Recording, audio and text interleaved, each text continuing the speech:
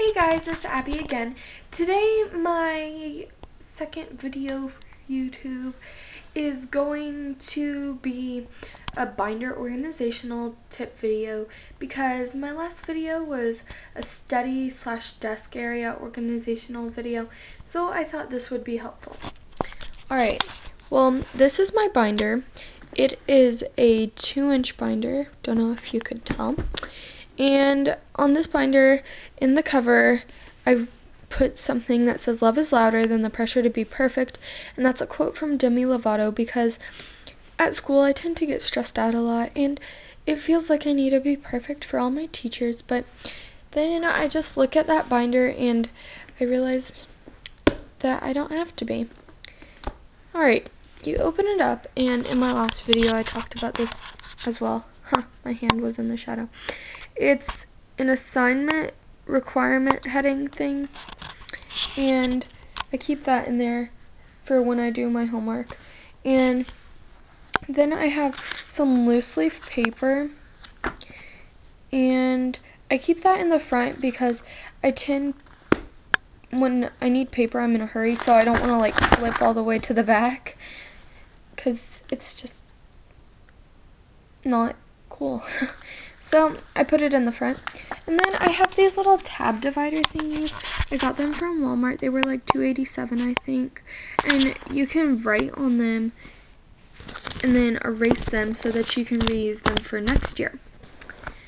Alright, so basically they're just, they have three hole punches so you can put them in your binder. And it's a folder but it also is a tab divider, so that's good so that your papers don't rip and fall off opposed to if you just had normal um, tab dividers and just put your papers there. So this is my science binder and I'll put anything from graded papers to project handouts to um, instructions or notes. See, I have my notes. And I tend to like to do fun notes. If you think that a note-taking video would be cool, comment below and I'll let you know if I can do that. And then this is social studies, it's the fattest. And then um this is spelling. I don't really get a lot of handouts for spelling because we have a spelling book or whatever.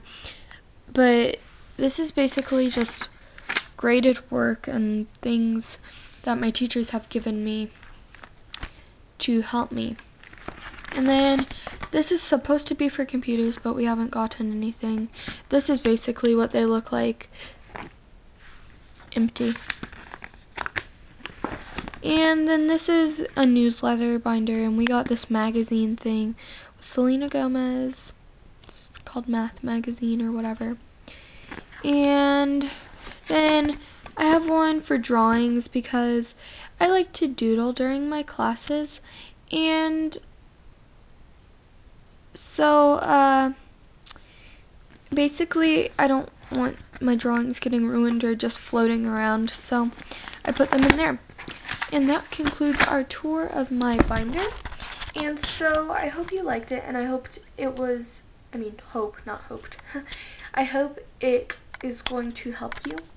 And so I guess I'll just say bye. Thanks y'all. Bye.